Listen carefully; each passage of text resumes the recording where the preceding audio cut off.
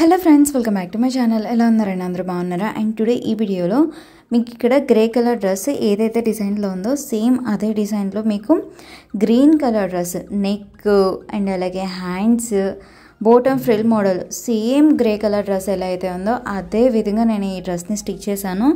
ఈ dress cutting and stitching పెద్దవాళ్ళకైనా చిన్నవాళ్ళకైనా సరే ఈజీగా ఏ విధంగా చేయాలో చూపిస్తాను ఈ వీడియోలో. ఈ డ్రెస్ స్టిచ్ చేయడానికి six metre Hakoba printed fabric తీసుకున్నాను నేను. అండ్ బాడీ పార్ట్ కోసం one metre cotton lining fabric తీసుకుని తీసుకున్న లైనింగ్ ఫ్యాబ్రిక్ని బాడీ పార్ట్కి సరిపడా హాఫ్కి నీట్గా ఫోల్డ్ చేసుకొని ఫుల్ షోల్డర్ మెజర్మెంట్లో హాఫ్ మెజర్మెంట్ దగ్గర ఒక పాయింట్ పెట్టి స్ట్రైట్గా లైన్ మార్చేసుకున్నాను అండ్ త్రీ ఇంచెస్ దగ్గర షోల్డర్ విత్ పాయింట్ పెట్టుకున్నాను. బ్యాక్ నెక్ టిప్ కూడా త్రీ ఇంచెస్ పెట్టాను. నేను ఇక్కడ వీడియోలో చూపిస్తున్న విధంగా మీరు ఎవరికైతే డ్రెస్ స్టిచ్ చేస్తున్నారో వాళ్ళ బాడీ మెజర్మెంట్స్ ప్రకారం ఈ విధంగా మార్కింగ్ చేసుకోవాలి. అండ్ అలాగే ఫుల్ ఆమ్హోల్ రౌండ్ లూజ్లో నుంచి హాఫ్ మెజర్మెంట్ తీసుకొని తీసుకున్న హాఫ్ మెజర్మెంట్లో ఒక హాఫ్ ఇంచ్ తగ్గించంగా వచ్చిన మెజర్మెంట్ని షోల్డర్ దగ్గర నుంచి టేపే విధంగా వచ్చి ఫైనల్గా వచ్చిన మెజర్మెంట్ దగ్గర ఒక పాయింట్ పెట్టాలి. దాన్ని ఆమ్హోల్ లెంత్ పాయింట్ అంటారు. ఆ పాయింట్ని కలుపుకుంటూ వీడియోలో చూపించిన విధంగా ఎల్ షేప్లో మార్క్ వేసి ఈ ఎల్ షేప్కి కార్నర్లో వన్ ఇంచ్ దగ్గర ఒక పాయింట్ పెట్టుకొని ఈ పాయింట్ని కలుపుకుంటూ వీడియోలో చూపిస్తున్న విధంగా బ్యాక్ సైడ్ ఆమ్హోల్ షేప్ అనేది మార్చేసుకోవాలి. అండ్ అలాగే మీకు బాడీ లెంత్ ఎంతైతే కావాలో షోల్డర్ లైన్ దగ్గర నుంచి మీకు కావాల్సిన బాడీ లెంత్ వరకు ఈ విధంగా మార్చేసుకోవాలి. అండ్ చెస్ట్ రౌండ్ లూజ్లో డివైడెడ్ బై ఫోర్ చేయంగా వచ్చిన మెజర్మెంట్ని ఆమ్ హోల్ లైన్ దగ్గర. అండ్ అలాగే నడుం రౌండ్ లూజ్లో డివైడెడ్ బై ఫోర్ చేయంగా వచ్చిన మెజర్మెంట్ని లెంత్ లైన్ దగ్గర ఈ విధంగా పెట్టి పాయింట్ పెట్టి ఈ టూ పాయింట్స్ని కలుపుకోవాలి. ఇది perfect body fitting perfect body fitting కన్నా ఒక three and half inch extra margin పెడుతున్నాను నేను. ఎక్స్ట్రా మార్జిన్ ఎంత పెట్టుకోవాలి అనేది కూడా మీ చాయిస్ అండ్ షోల్డర్ పైన ఒక హాఫ్ ఇంచ్ ఎక్స్ట్రా ఖర్చు కోసం మార్చేసాను బాడీ లెంత్ ఒక వన్ ఇంచ్ ఎక్స్ట్రా పెట్టాను. ఫైనల్ అడ్జస్ట్మెంట్ కోసం నెక్ షోల్డర్ ఆమల్స్ మీకు ఎలా అయితే చూపించానో సేమ్ అదే విధంగా కట్ చేసే ఇది బ్యాక్ సైడ్ పార్ట్. ఇప్పుడు కట్ చేసుకున్న బ్యాక్ సైడ్ పార్ట్ని యూస్ చేసి ఫ్రంట్ పార్ట్ కట్ చేయడం కోసం ఫ్యాబ్రిక్ని హాఫ్కి నీట్గా ఫోల్డ్ చేసి దానిపైన ఆల్రెడీ కట్ చేసుకున్న బ్యాక్ సైడ్ పార్ట్ని నీట్గా పెట్టి neck shoulder arm holes including ఖర్చు పాయింట్తో సహా అండ్ మెయిన్ షోల్డర్ లైన్ని కూడా మార్చేసుకున్నాను. ఫ్రంట్ నెక్ డీప్ పెట్టడానికి. అండ్ అలాగే ఖర్చు పాయింట్ దగ్గర నుంచి ఫ్రంట్ ఆమ్ హోల్ షేప్ ఒక హాఫ్ ఇంచ్ లోపలికి ఉండేలాగా మార్చేసుకున్నాను. అండ్ అలాగే ఫ్రంట్ నెక్ డీప్ వచ్చేసి ఫైవ్ ఇంచెస్ ఉండేలాగా పెడుతున్నాను. ఈ విధంగా ఫైవ్ ఇంచెస్ దగ్గర నెక్ డీ పాయింట్ పెట్టుకొని నెక్ డీ పాయింట్ దగ్గర నుంచి స్ట్రైట్ లైన్ మార్చేసి అండ్ అలాగే షోల్డర్ విత్ పాయింట్ దగ్గర నుంచి స్ట్రైట్ లైన్ మార్చేయాలి. నెక్ షేప్ మార్చేయడం కోసం. ఇప్పుడు ఈ ఎల్ షేప్కి కార్నర్ నుంచి వన్ అండ్ హాఫ్ ఇంచ్ పైకి ఒక పాయింట్ పెట్టుకొని ఈ వన్ అండ్ హాఫ్ ఇంచ్ పై దాకా నెక్ డీప్ నుంచి ఈ విధంగా షేప్ మార్చేసి అక్కడి నుంచి షోల్డర్ పాయింట్ వరకు వీడియోలో చూపించిన విధంగా స్టార్ నెక్ వచ్చేలాగా షేప్ మార్చేసుకుని ఫ్రంట్ పార్ట్ని కూడా కట్ చేస్తాం. మనం పర్ఫెక్ట్గా కట్ చేసుకున్న కాటన్ లైనింగ్ ఫ్యాబ్రిక్ కన్నా నెక్ షోల్డర్ ఆమ్హోల్ దగ్గర ఎక్కువ ఉండేలాగా నేను క్రేప్ లైనింగ్ని అండ్ అలాగే మెయిన్ ఫ్యాబ్రిక్ని కూడా కట్ చేశాను. నేను దీనికి డబల్ లేయర్ లైనింగ్ ఫ్యాబ్రిక్ అనేది యూస్ చేసిన ఎందుకంటే నేను తీసుకున్న కాటన్ లైనింగ్ ఫ్యాబ్రిక్ మ్యాచ్ అవ్వలేదని చెప్పేసి crepe lining cotton lining body పార్ట్కి డబల్ లైనింగ్ వేసాను అండ్ బాటమ్ పార్ట్కి టూ మీటర్స్ క్రేప్ లైనింగ్ ఫ్యాబ్రిక్ని తీసుకొని తీసుకున్న లైనింగ్ ఫ్యాబ్రిక్ని ఇక్కడ వీడియోలో చూపిస్తున్న విధంగా కోన్ ఫోల్డ్ వచ్చేలాగా ఫోల్డ్ చేసుకోవాలన్నమాట. హాఫ్ సర్కిల్ అంబ్రిల్లా కటింగ్ చేయడం కోసం ఈ విధంగా ఫోల్డ్ చేసుకుంటున్నాం అనమాట ఈ విధంగా కోన్ షేప్ వచ్చేలాగా ఫోల్డ్ చేసుకున్నప్పుడు ఫ్యాబ్రిక్కి two layers open two layers close ఉన్న కార్నర్ దగ్గర నుంచి నడుము మెజర్మెంట్ని మార్చేసుకోవాలన్నమాట. నడుము మెజర్మెంట్ ఎలా మార్చేయాలి అనేది దూరం నుంచి ఒకసారి చూపిస్తాను. అండ్ అలాగే దగ్గర నుంచి కూడా డీటెయిల్గా మెజర్మెంట్స్ని ఎలా టాలీ చేసుకొని మార్చేసుకోవాలో కూడా చూపిస్తాను. కొత్తగా నేర్చుకునే వాళ్ళకి ఈజీగా అర్థమవుతుంది అని చెప్పేసి రెండు విధాలా చూపిస్తున్నాను అనమాట అంటే దూరం నుంచి అండ్ అలాగే దగ్గర నుంచి కూడా.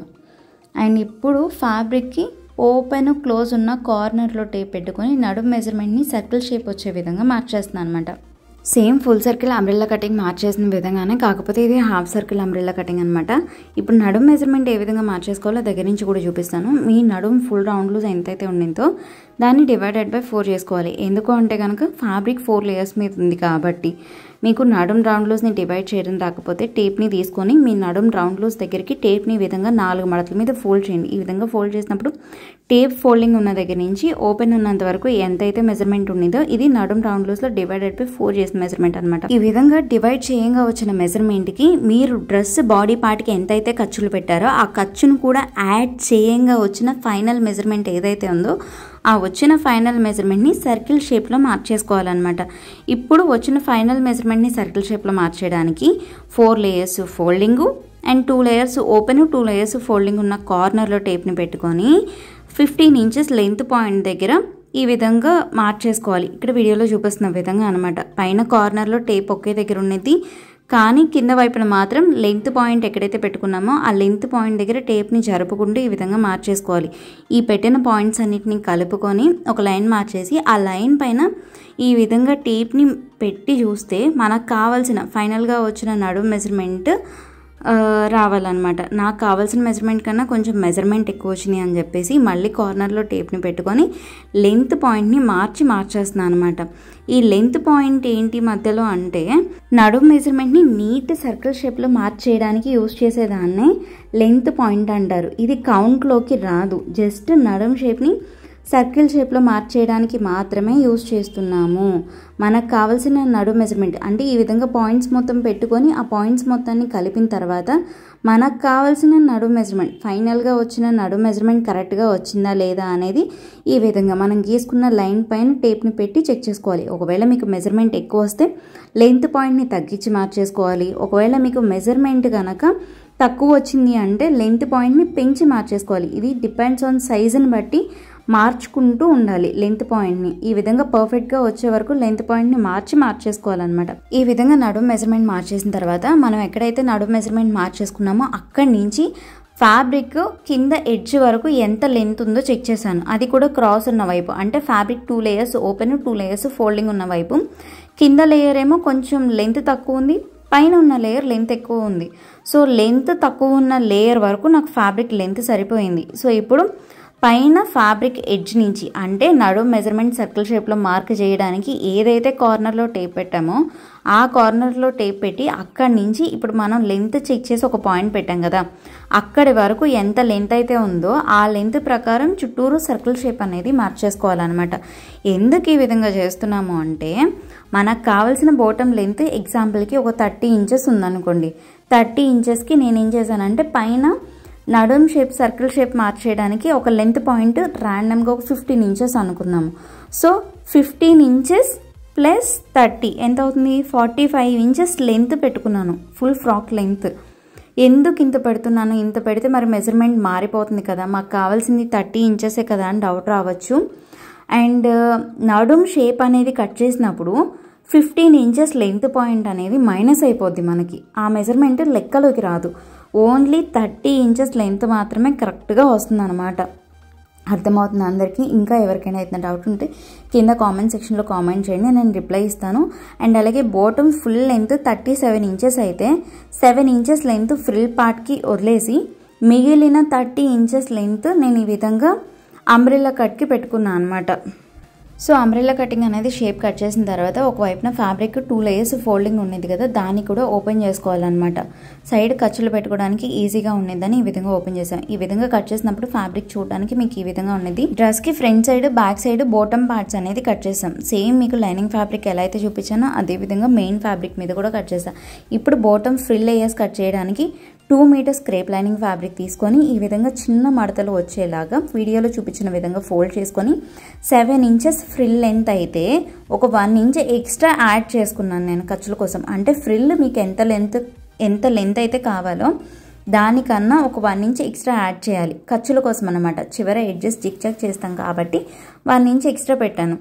అండ్ ఈ విధంగా కట్ చేసిన ఈ లేయర్స్ని ఏ విధంగా అటాచ్ చేయాలో కూడా నేను ఒకసారి చూపిస్తాను. బోటమ్ స్టిచ్చింగ్ చేసుకునేటప్పుడు బోటమ్ ఈ విధంగా వస్తుందన్నమాట. మెయిన్ ఫ్యాబ్రిక్ లైనింగ్ ఫ్యాబ్రిక్ చూడడానికి. అండ్ ఇప్పుడు స్టిచ్చింగ్ ఎలా చేయాలో చూద్దాం. బాడీ పార్ట్కి ఫస్ట్ క్రేప్ లైనింగ్ తీసుకొని క్రేప్ లైనింగ్ పైన మెయిన్ ఫ్యాబ్రిక్ రాంగ్ సైడ్ ఉండేలాగా పెట్టుకొని మెయిన్ ఫ్యాబ్రిక్కి మంచి వైపున కాటన్ లైనింగ్ ఫ్యాబ్రిక్ ఉండేలాగా పెట్టుకొని ఈ త్రీ లేయర్స్ చుట్టూరు అవుట్లైన్ మొత్తం అంటే షోల్డర్స్ నెక్ చుట్టూరు బాడీ బాడీ బార్డర్ అవుట్లైన్ మొత్తం సమానంగా ఉందా లేదా చెక్ చేసిన తర్వాత నెక్ షేప్ చుట్టూరు కూడా ఈ త్రీ లేయర్స్ కదిలిపోకుండా ఈ విధంగా ఇక్కడ వీడియోలో చూపించిన విధంగా పిన్స్ పెట్టుకొని నెక్ షేప్ చుట్టూరు ఈ విధంగా స్టిచ్ చేసుకోవాలి. ఇక్కడ వీడియోలో చూపిస్తున్న విధంగా అనమాట ఇది శాంపుల్ స్టిచ్ త్రీ లేయర్స్ జారిపోకుండా ఉండడానికి జస్ట్ శాంపుల్ స్టిచ్ వేస్తున్నాము.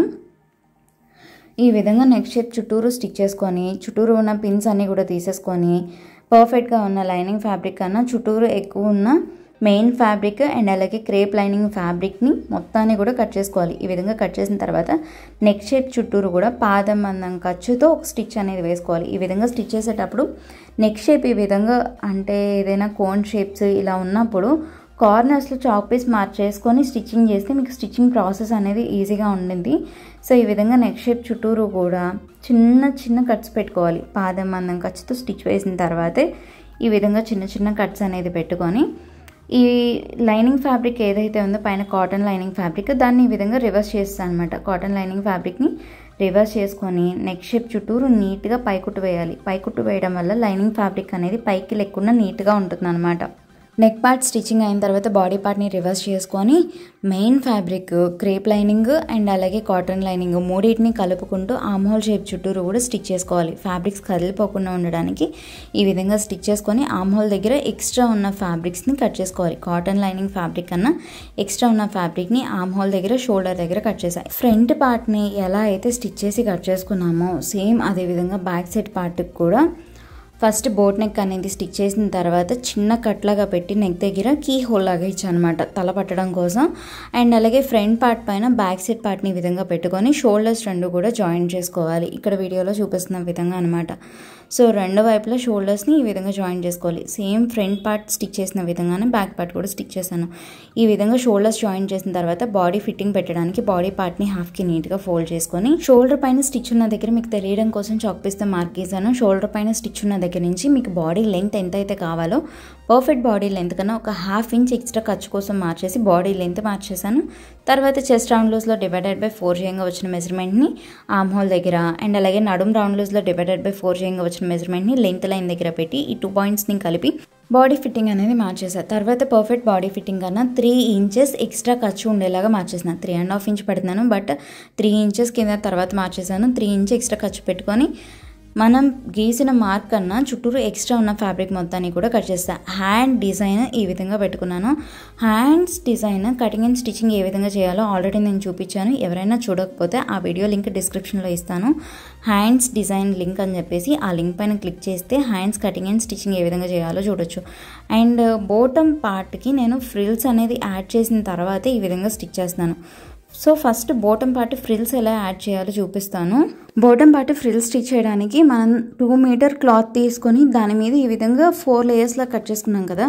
ఒక్కొక్కటి టూ మీటర్స్ విత్ ఈ విధంగా ఫోర్ పార్ట్స్ లాగా వచ్చినాయి. ఈ విధంగా వచ్చిన ఫ్యాబ్రిక్స్కి ఒక్కొక్క పార్ట్కి కూడా నేను ఎయిట్ ఇంచెస్ లెంత్ పెట్టాను. నైన్ ఇంచెస్ కాదు ఒక్కొక్క layer eight inches length and అలాగే టూ మీటర్స్ విత్ వచ్చేలాగా కట్ చేసుకున్నాను. ఈ విధంగా కట్ చేసుకున్న ఫ్యాబ్రిక్స్ ఒక ఫ్యాబ్రిక్కి మంచి వైపు ఇంకొక ఫ్యాబ్రిక్ ఉండేలాగా ఒకదానిపైన ఒకటి పెట్టి ఈ విధంగా జాయిన్ చేశాను అనమాట ఈ టూ ఫ్యాబ్రిక్స్ని జాయిన్ చేసుకున్నా. ఇది ఫ్రంట్ పార్ట్కి బ్యాక్ సైడ్ పార్ట్కి ఇంకొక టూ లేయర్స్ని కలిపి జాయిన్ చేశాను అనమాట ఈ విధంగా మొత్తం కలిపి జాయిన్ చేయలేదు. ఒక టూ లేయర్స్ ఏమో ఒక పార్ట్ లాగా జాయిన్ చేశాను.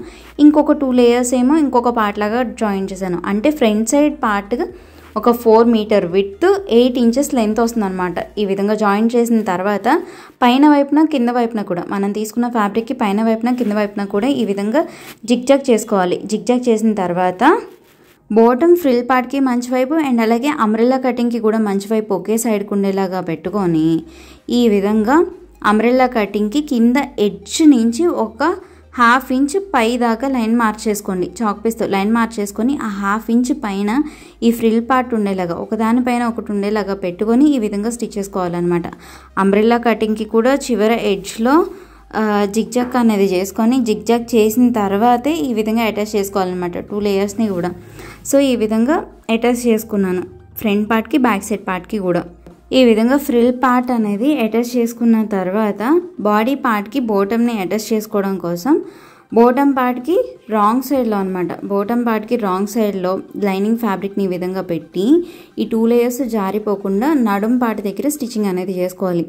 మెయిన్ ఫ్యాబ్రిక్కి ఫ్రిల్స్ జాయిన్ చేశాను అండ్ అలాగే లైనింగ్ ఫ్యాబ్రిక్కి కూడా ఫ్రిల్స్ జాయిన్ చేసిన తర్వాతే మెయిన్ ఫ్యాబ్రిక్ పైన లైనింగ్ ఫ్యాబ్రిక్ని పెట్టి రాంగ్ సైడ్లో అనమాట మెయిన్ ఫ్యాబ్రిక్కి రాంగ్ సైడ్న లైనింగ్ ఫ్యాబ్రిక్ని ఈ విధంగా పెట్టి నడుం జాయింట్ వచ్చే దగ్గర ఈ విధంగా స్టిచ్ చేశాను స్టిచ్ చేసిన తర్వాత బాడీ పార్ట్కి మంచి వైపున బోటం పార్ట్కి కూడా మంచి వైపు ఒకే సైడ్కి ఉండేలాగా పెట్టి నడుం పార్ట్స్ రెండింటిని ఈ విధంగా జాయిన్ చేసుకోవాలి. ఇక్కడ వీడియోలో చూపిస్తున్న విధంగా అందరికీ అర్థమవుతుంది కదా.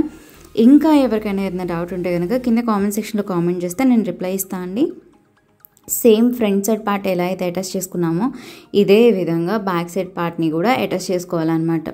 ఈ విధంగా టూ పార్ట్స్ని అటాచ్ చేసిన తర్వాత బాడీ ఫిట్టింగ్ పెట్టుకోవాలి. బ్యాక్ సైడ్ పార్ట్ కూడా బోటం అటాచ్ చేసిన తర్వాత front part back side part పైన కింద ఉండేలాగా పెట్టి నడుము జాయింట్స్ రెండు సమానంగా ఉండేలాగా పెట్టుకొని బోటము ఓన్లీ మెయిన్ ఫ్యాబ్రిక్ నడుము జాయింట్ దగ్గర నుంచి ఒక టూ ఇంచెస్ కిందకి ఉండేలాగా పట్టుకొని నడుము జాయింట్ దగ్గర టైట్ స్టిచ్ వేసి సైడ్స్ రెండు కూడా జాయిన్ చేసుకోవాలి. బోటము ఓన్లీ మెయిన్ ఫ్యాబ్రిక్ సైడ్స్ని ఈ విధంగా జాయిన్ చేసుకోవాలన్నమాట. సో ఇక్కడ వీడియోలో చూపిస్తున్న విధంగా ఫ్రిల్ పార్ట్ వచ్చిన దగ్గర ఫ్రిల్ పార్ట్ మొత్తం కూడా సమానంగా ఉండేలాగా పెట్టుకొని ఈ విధంగా జాయిన్ చేసుకోవాలి. కింద వరకు జాయిన్ చేసిన తర్వాత ఇప్పుడు బాడీ పార్ట్కి బాడీ పార్ట్స్ రెండు అంటే front side back side parts సైడులు జారిపోకుండా ఉండడం కోసం పిన్స్ పెట్టుకొని ఈ విధంగా సైడ్ ఎడ్జ్ దగ్గర నుంచి ఒక త్రీ ఇంచెస్ దగ్గరికి ఈ విధంగా పాయింట్స్ పెట్టుకొని ఈ విధంగా మార్చేసుకోవాలి. అండ్ అలాగే హ్యాండ్ పార్ట్ని హాఫ్కి నీట్గా ఫోల్డ్ చేసుకొని ఈ విధంగా హ్యాండ్ రౌండ్ లూస్లో హాఫ్ మెజర్మెంట్ దగ్గర ఒక పాయింట్ పెట్టుకొని ఆమ్ హోల్ దగ్గర ఉన్న పాయింట్ దగ్గర నుంచి హ్యాండ్ చివరున్న పాయింట్ వరకు మార్చేసుకొని ఏ విధంగా అయితే మార్చేసామో సేమ్ అదే విధంగా స్టిచ్ చేసుకోవాలన్నమాట. మనం ఏదైతే మార్కింగ్ చేసామో అదే మార్కింగ్ పైన అండ్ బాడీ పార్ట్కి ఎక్కడ కూడా మడతలు రాకుండా నీట్గా పెట్టుకొని ఈ విధంగా నడుం పార్ట్ దాకా స్టిచ్ చేసిన తర్వాత నడుం పార్ట్ దగ్గర bottom main fabric lining fabric కూడా ముడతలు లేకుండా నీట్గా పెట్టుకొని నడుం పాట దగ్గర నుంచి ఒక సిక్స్ ఇంచెస్ వరకు ఈ టూ లేయర్స్ని కలుపుకుంటూ ఈ విధంగా క్రాస్గా లైన్ మార్చేసి సిక్స్ ఇంచెస్ వరకు మెయిన్ ఫ్యాబ్రిక్ లైనింగ్ ఫ్యాబ్రిక్ కలిపి స్టిచ్ చేయాలి. అక్కడి నుంచి మెయిన్ ఫ్యాబ్రిక్ని సైడ్కి పెట్టేసి ఓన్లీ లైనింగ్ ఫ్యాబ్రిక్ మీద చివరి దాకా ఈ విధంగా స్టిచ్ చేసుకోవాలి. లైనింగ్ ఫ్యాబ్రిక్ని ఏమో చివరి ఎడ్జెస్లో ఫోల్డ్ చేసి స్టిచ్ చేశాను. మెయిన్ ఫ్యాబ్రిక్ ఏమో జగ్ చేసుకోవాలన్నమాట. అండ్ మీకు ఈ వీడియో నచ్చితే లైక్ చేయండి ఎవరికైనా యూస్ అవుతుంది అంటే షేర్ చేయండి. ఇంకా ఏదైనా డౌట్స్ ఉంటే కామెంట్ సెక్షన్లో కామెంట్ చేయండి. అండ్ అలాగే ఈ డ్రెస్ నాది కాదండి ఒక కస్టమర్ది. అందుకే డ్రెస్ వేసుకోకుండా ఇక్కడ వీడియోలో బాడీ పైన పెట్టుకొని చూపిస్తున్నాను అనమాట అండ్ ఇప్పుడు వీడియోలో చూపిస్తున్న డ్రెస్లన్నీ కూడా ఒక కస్టమర్కి కస్టమైజ్ చేసి పంపించిన డ్రెస్లు. మీలో ఎవరికైనా కస్టమైజేషన్ కావాలి అంటే కనుక లెహంగాస్ అయినా డ్రెస్సెస్ అయినా ఏదైనా సరే కస్టమైజేషన్ చేసి ఎక్కడికైనా సరే కొరియర్ చేస్తాము అండ్ రీసెంట్గా చేసిన డిజైన్స్ అన్నీ కూడా చూపిస్తున్నాను ఈ వీడియోలో. ఎవరికైనా కావాలి అంటే కనుక స్క్రీన్ పైన ఇచ్చిన వాట్సాప్ నెంబర్కి వాట్సాప్లో మెసేజ్ చేసి ఆర్డర్ చేసుకోవచ్చండి. మీకు ఏ డిజైన్ కావాలన్నా సరే customise చేసిస్తాను. Thanks for watching this video.